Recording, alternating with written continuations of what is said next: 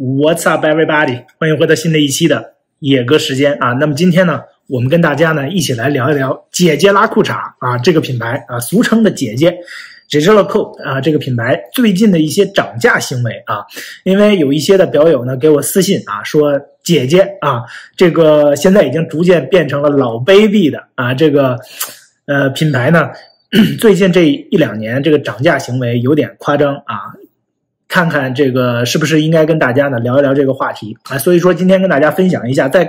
开始我们今天影片之前啊，race check，今天呢是带了我自己的这一支的姐姐。那我的这一支的姐姐呢，是一个相对来说比较复杂的一个款式，也是之前的一个停产了的款式。那么它呢是这个 reversal，当然了，这个。一会儿呢，我会跟大家来说一下这个姐姐拉裤衩应该买的一些款式。那么它呢也是正反面的啊，reversal 啊，那这个也算是一个复杂功能了，因为它有呃 day night indicator，就是这个上面呢有这个呃有这个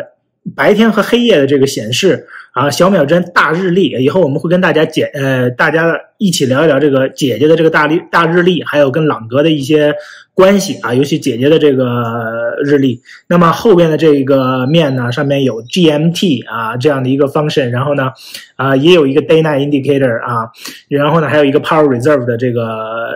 动储显示，那么相对来说算是一个相对来说比较一个复杂的一个款式了。那么之后呢，我们会有专门的影片呢，跟大家来介绍一下我自己的这一支的这个 reversal。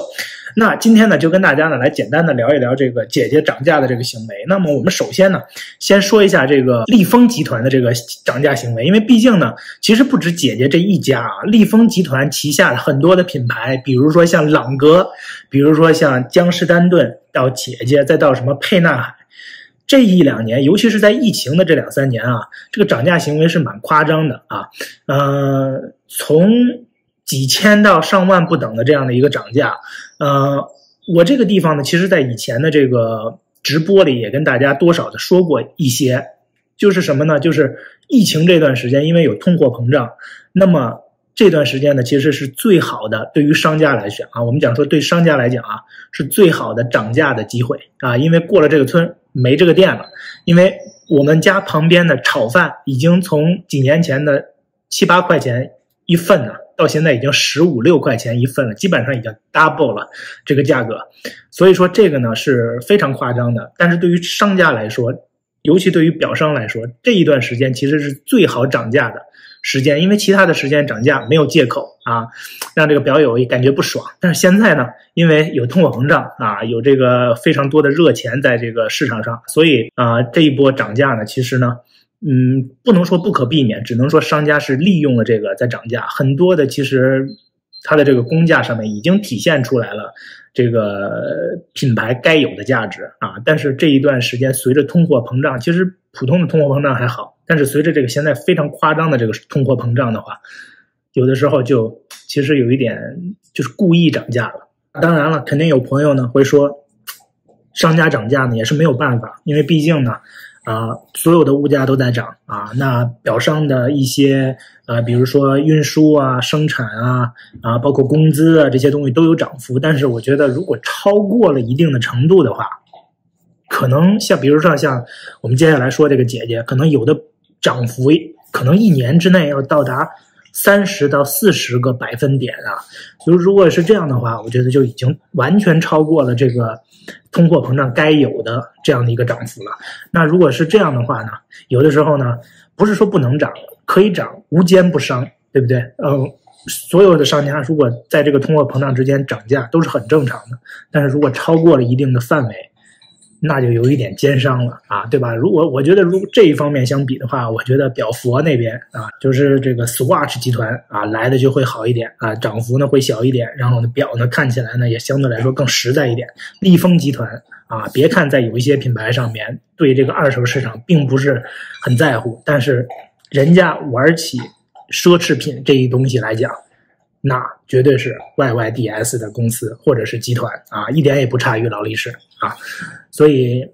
这个呢是有关于利丰集团整体的涨价，整体都在涨，而且这个整体的这个幅度啊，包括各个品牌上面的涨价，已经超过了通货膨胀该有的通货膨胀的范围啊，我觉得这个时候有点夸，就让大家会觉得有一点夸张了。第二个呢，我们就跟大家说一说这个姐姐。姐姐呢，在过去的部分的品呃款式上面，尤其是 reversal 的一些款式上面的涨幅啊，可以达到三十到四十个百分点。我刚才跟大家讲了，所以说这是一个非常夸张的一个涨幅。姐姐的腕表其实本来，嗯，我觉得呢，可以说是这个市场上比较低估的品牌，更适合很多真正的表友。腕表爱好者去购买的品牌，不太适合这种啊 speculator 啊，就是买表啊，我们又来了啊，买表希望能够升值、能够保值，甚至能够飞的才是 YYDS，不太适合这些表友啊，比较适合。真正的腕表爱好者去收藏、去购买，在一个特别好的一个价位上去购入，嗯，因为 我们单纯讲这个，我们今天就讲这个 reversal。当然，积家也有别的，像大师系列，其他的会有更多呃复杂功能的 memo box 这种可以闹的啊腕表，还有很多复杂功能的其他的款式可以去可以去选择，嗯，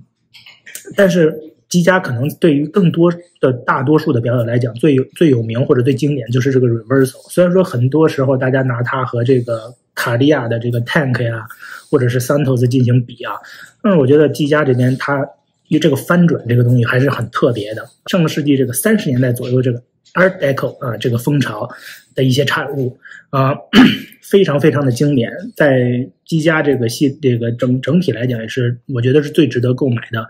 呃，如果大家只想买一个机架的话，那我觉得大家都应该选择 reversal。但是如果大家接受不了方表，那可以选择其他的款式。但是 reversal 是可以说是大多数人都会去选择的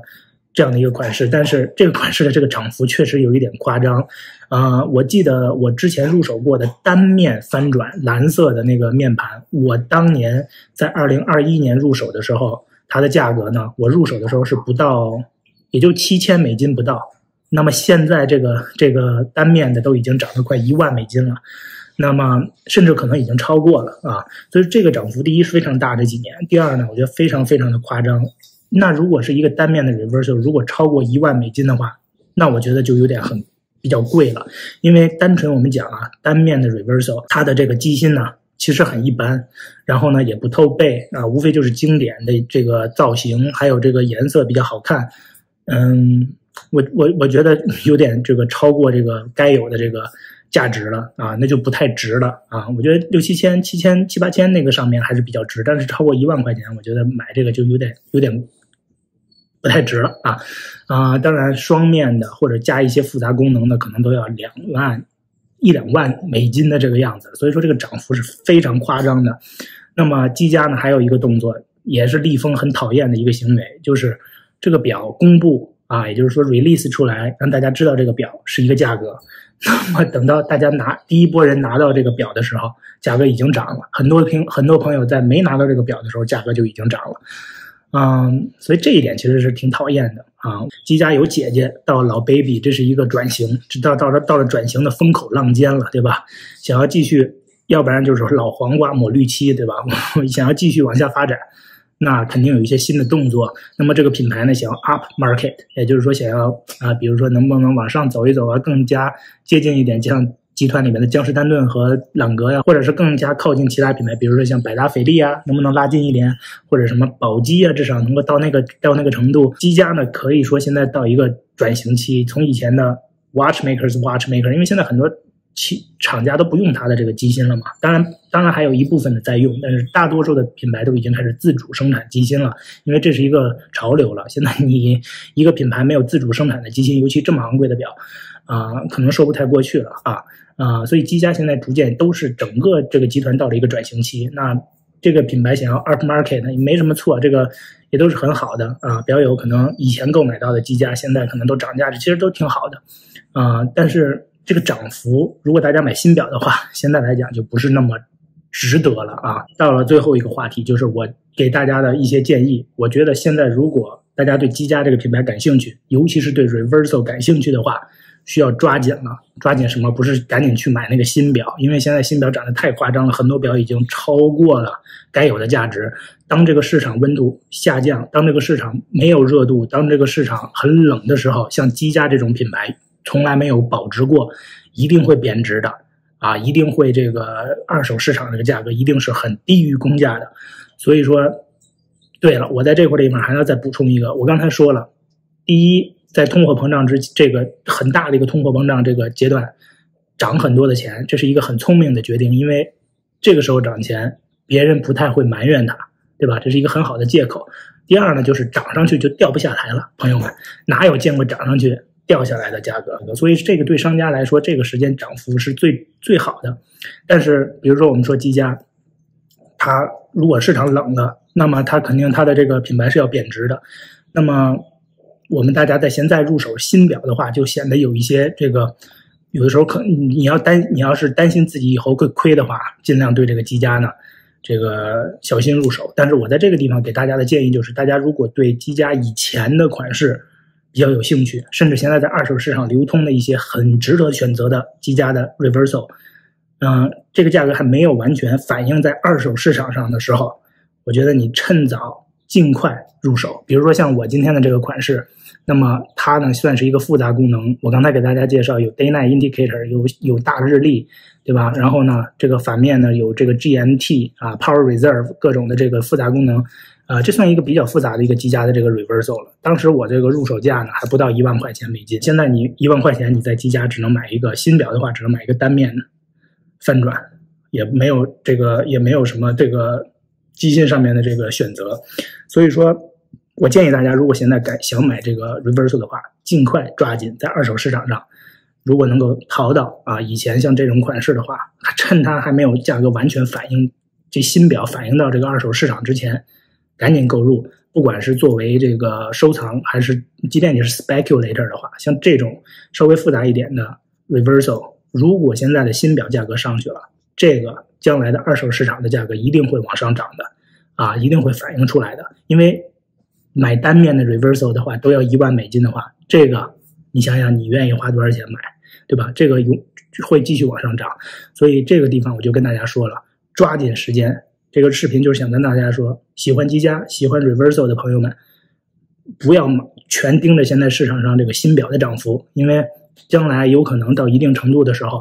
到市场冷的时候，它这个价格会 hold 不住啊，在二手市场会贬值。到那个时候，你喜不喜欢这样？如果非买新表的话，那也没办法。但是如果可以看一看以前的老表的话，在没有涨起来之前，绝对是特别好的选择的购入啊。积家 Reversal 以前的老款式，如果讲 Future Collectible 的话，绝对是应该购买的腕表。那好了，那我们今天呢，就是跟大家呢。来说一下这个话题，希望大家呢抓紧时间，好吗？我们下一期再见。